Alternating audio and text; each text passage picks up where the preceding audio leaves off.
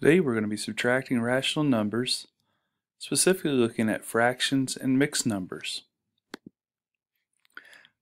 You, you should know the process by now. Because we've done enough of these, it's all the same. You start by rewriting the original problem using add the opposite. Decide if you want to add or subtract, simplify, and don't forget your sign.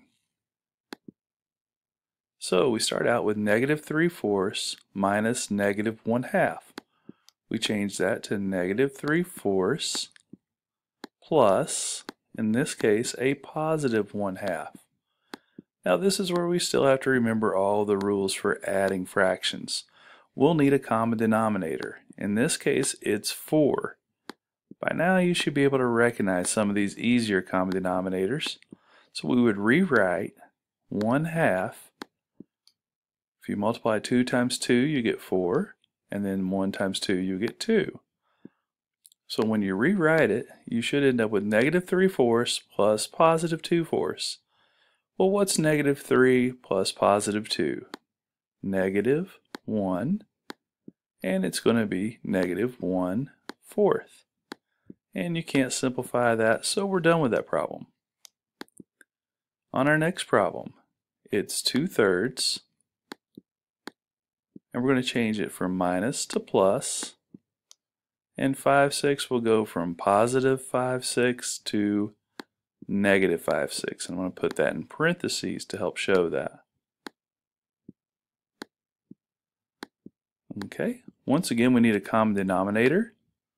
So let's use the common denominator of 6 because it's the first number 3 and 6 both go into 3 times 2 is 6, so 2 times 2 is 4. Remember, we're multiplying both the numerator and denominator by the same number. Now we're getting to an addition problem with common denominators. So we have positive 4 plus negative 5.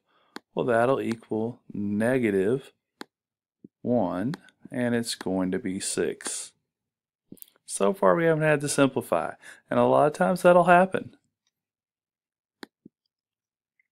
Okay, when we see mixed numbers, a lot of times we get scared because that looks very intimidating. But all you have to do is change them to improper fractions.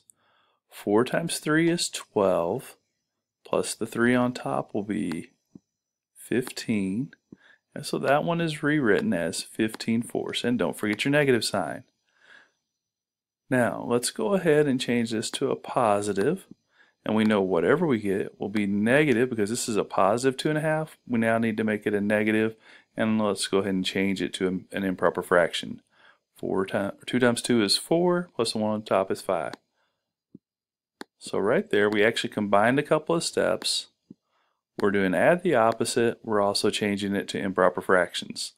Now we need to rewrite it because we have to have both of these with the same denominator. So when we do that, let's see, we can use the denominator 4, so that's the first one they have in common. 2 times 2 is 4, 5 times 2 is 10. Now when we look at this, we now have negatives plus negatives. We end up with a lot of negatives. How many negatives do we end up with? Negative 25 fourths. If you wanted to change that to a mixed number, you would do 4 into 25 and you would get negative 6 with 3 fourths left over.